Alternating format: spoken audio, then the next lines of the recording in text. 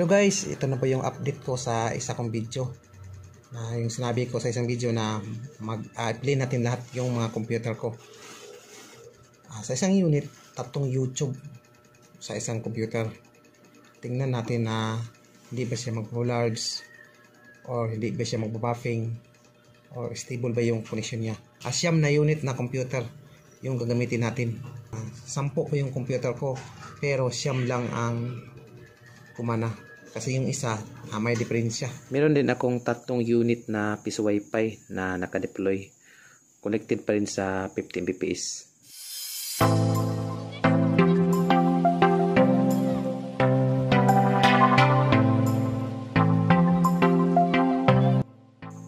And guys, tingnan nyo. Tatlong YouTube sa isang unit. Okay guys siya. Hindi siya magbubularge yung video. Kayo na bahala kung anong network at least nakita ninyo ang kalidad sa 15 Mbps fiber. Ah guys, ah, baka wala po kayong PLDT fiber dyan sa inyong lugar. Tapos ang available Club Fiber. Ah, kung gusto niyo malaman, may isang video po ako. Ah, 30 Mbps yung ginawa ko. Ah, gumawa po ako ng speed test sa Globe Fiber 30 Mbps. Kung gusto niyo malaman ay tingnan na ninyo. Ilagay ko sa description sa baba yung link ng video. Tingnan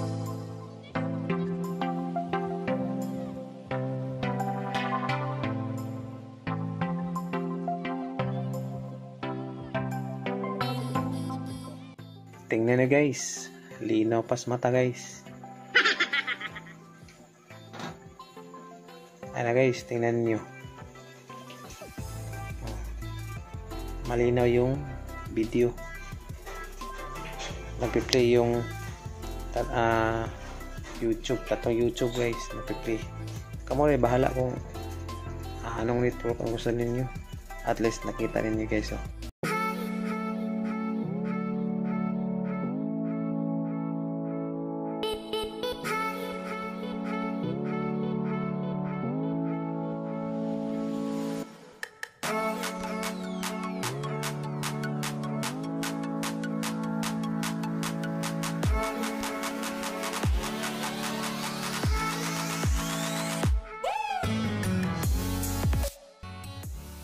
Naman tayo sa kabila. Ayan. Oh. Clear yung video. Hanap tayo. Ayan. Madali, ma, madali lang siya mag-play. Ayan guys. Linaw na linaw. Linaw pa sa paa.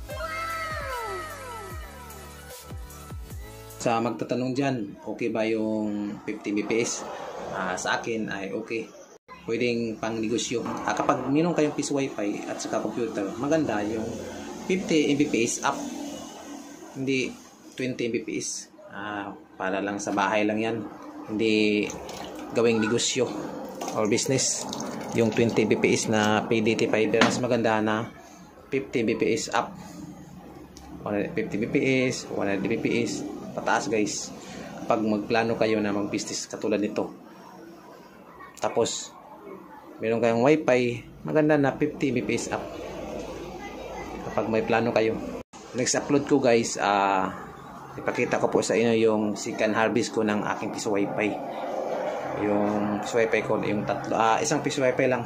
Ipakita ko sa inyo. Buha ako ng video kung magkaano ba yung income sa isang buwan ko. Sa isang unit na piso wifi yan lang guys.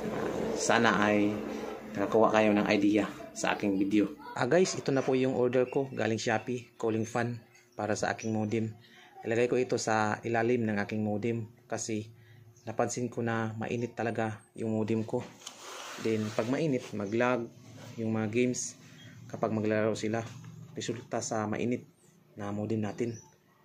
Kahit malakas pa ang inyong Mbps na kinuha ninyo, maglag pa rin.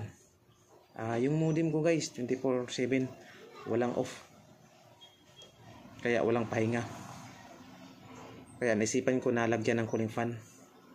Pag kayo dyan na may business katulad ko, kailangan natin ito para mabawasan yung init ng ating modem.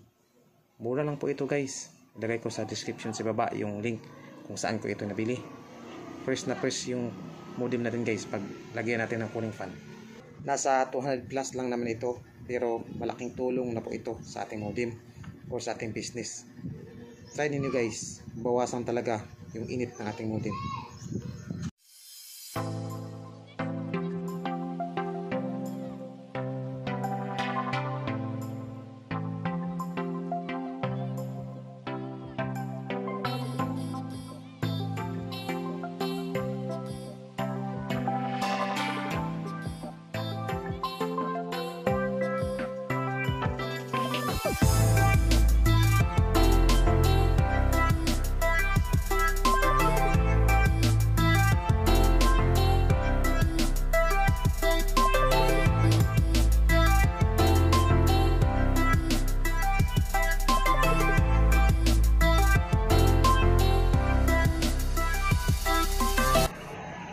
Nasa ano ah height ito guys na lupa.